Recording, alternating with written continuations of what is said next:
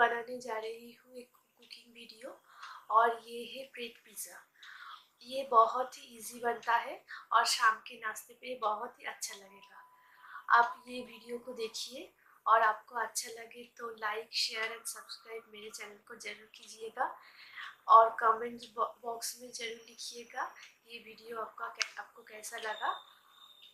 Thank you इस recipe को बनाने के लिए मैंने एक डिश पे ले लिया है बारीक कटी हुई प्याज, शिमला मिर्च और टमेटो और हरे मिर्च। और मैंने ले लिया है चार बड़े ब्रेड के स्लाइसेस इसके साथ मैंने इंग्रेडिएंट्स ली है। Tomato ketchup, cheese cubes, oregano, red chilli flakes. मैंने एक स्पून ले लिया है और स्पून पे मैं टोमेटो केचप ले रही हूँ। ये टोमेटो केचप लेके मैं ब्रेड स्लाइसेस के ऊपर स्प्रेड कर रही हूँ। देखिए मैं कैसे स्प्रेड कर रही हूँ। स्पून की पीछे से स्लाइसेस के ऊपर ऐसे स्प्रेड करना पड़ेगा। मैंने थोड़ा और टोमेटो केचप ले लिया है और अच्छे से स्पून के पीछे से स्लाइसेस के ऊपर स्प्रेड कर लूँगी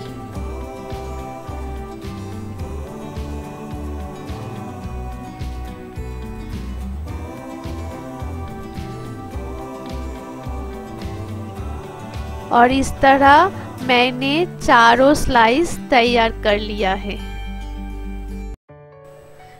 पहले मैं टॉपिंग्स तैयार कर लूँगी। ब्रेड के स्लाइसेस के ऊपर पहले मैं टॉपिंग्स के लिए प्याज दे रही हूँ। देखिए, मैं कैसे प्याज इस पे ऊपर स्प्रेड कर रही हूँ। इसके बाद मैं शिमला मिर्च दे रही हूँ।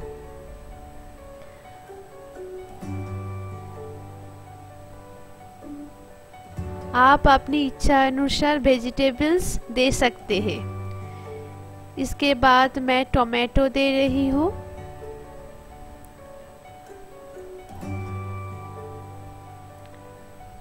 और इसके बाद मैं हरी मिर्च इसके ऊपर लगा रही हूँ।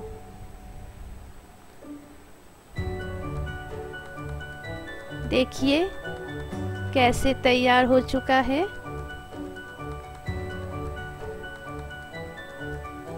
और ये चारों को चारों मैंने तैयार कर लिया है। देखिए कैसे खूबसूरत लग रही है।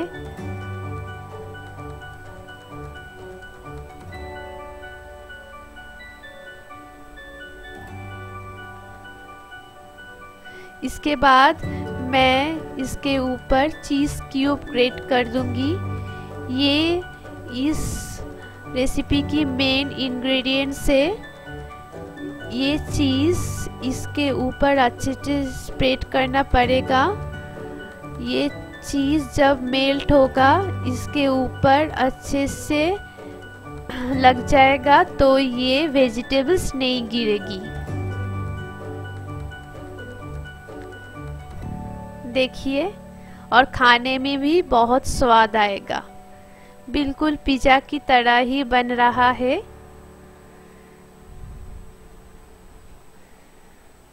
बहुत ही इजी रेसिपी है। इसके ऊपर मैं ऑरिगेनो स्प्रेड कर लूँगी। ये ऑरिगेनो आपको बाज़ार में बहुत इजीली मिल जाएगा।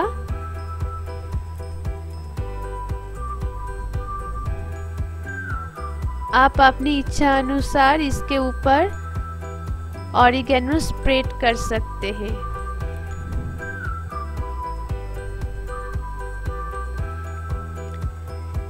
इसके बाद मैं रेड चिली फ्लेक्स इसके ऊपर स्प्रेड कर लूँगी।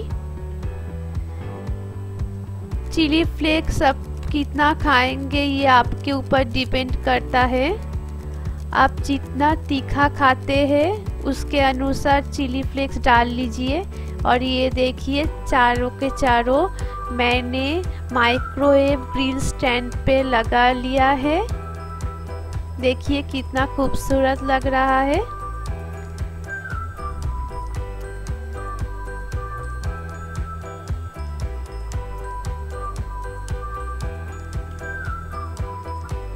और इसके बाद इसको मैं माइक्रोवेव के डालूँगी।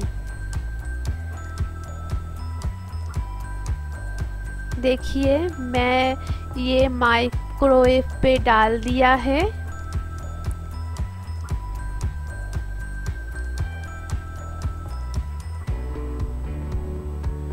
और इसको मैं ग्रिल मोड में दूँगी।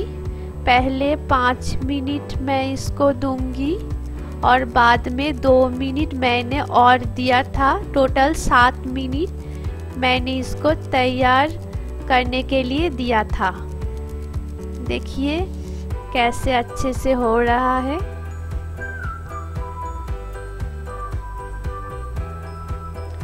और सात मिनट हो चुका है।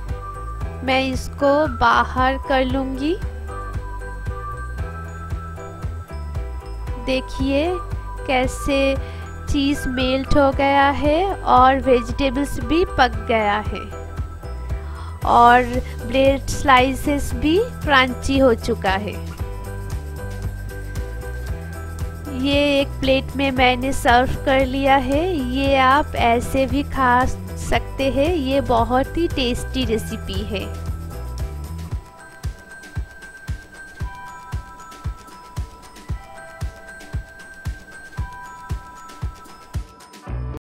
तो ये थी मेरी आज की रेसिपी ब्रेड पिज़्ज़ा ये रेसिपी को आप घर में ज़रूर ट्राई करना और ट्राई करके मुझे कमेंट बॉक्स में ज़रूर बताना ये रेसिपी कैसे बना।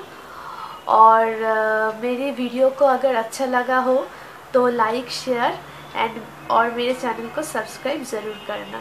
Thank you